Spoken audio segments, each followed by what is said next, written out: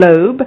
According to the seven-member grand jury for this year's award, which included Bruce Shapiro, Executive Director of the Dart Center for Journalism and Trauma, and the BBC's Africa editor, Mary Harper. Ridwan's piece, titled The Price of Thirst, shows powerful storytelling, creativity, and innovation.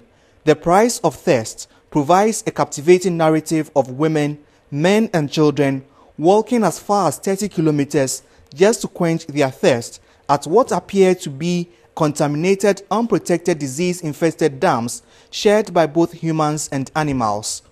The story was broadcast alongside a social media hashtag activism, hashtag Northern Lives Matter, which culminated into a national water forum to launch a campaign to solicit support to provide potable water for the deprived communities. The story's impact was fast and felt as it attracted support from Vestergaard, a global health company which donated water purification machines to the thirsty communities. Ridwan Karim Dini-Osman becomes the second Ghanaian to have won the award after Raymond Archer, who clinched the title in 2002. Ace investigative journalist Anas Aremeyaw Anas attempted the awards in 2009 and 2011 but could only emerge as a runner-up in both years. Ridwan, a multiple award-winning journalist, was in May this year named as a finalist for the 2018 edition of the International Center for Journalists' prestigious Michael Elliott Award. In December 2017, he was adjudged Best Journalist in Rural Reporting by the Ghana Journalists Association for his compelling story on water challenges in Ghana's Vice President Dr. Mahmoud Bawumia's hometown. Earlier in November 2017, the young news anchor and producer was declared Best African Journalist in Peace and Security Reporting by the African Media Initiative. Ridwan Karim Dini Osman won the award for his courageous and innovative feature on chieftaincy clashes in northern Ghana.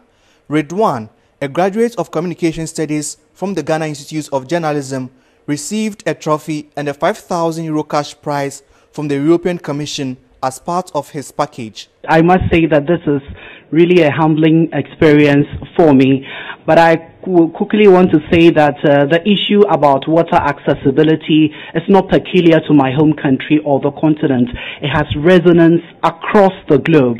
And I am hoping that this particular recognition will spare action for the narrative to change. We don't want the uh, prediction by Goldman Sachs to come to pass that indeed the next world war will be about water. That should not happen. And so I'm urging all leaders across the globe, water accessibility is an issue that we must take seriously. And as journalists, we must also take advantage of social media. Let's keep pushing the agenda until we get the right things done the way they are supposed to be done.